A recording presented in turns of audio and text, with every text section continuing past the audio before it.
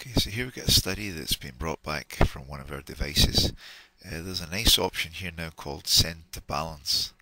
And that's going to take it, if we look at the flowchart, we're actually in here right now and what we're going to do is pass it directly into our process analysis here.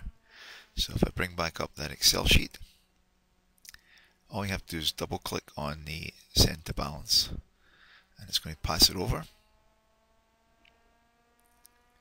and all your data will be presented here. It's converting it to seconds, which is the units of measure I'm using here. So if you're in minutes, it'll stay in minutes, right? And here you can see all of the work content presented to you. Of course, from here it gives you immediate access to things like Gantt charts. You can pop it out to Excel, or even Yamazumi charts, right? Or even uh, work instructions if you want to go directly to work instructions, that's available to you here. It's an excellent way of taking the raw data, which is basically a timeline of what's actually occurred and just sending it out to the uh, process analysis so you can see what information you have and of course when you're in here you can drag and drop information around as required to improve your uh, processes.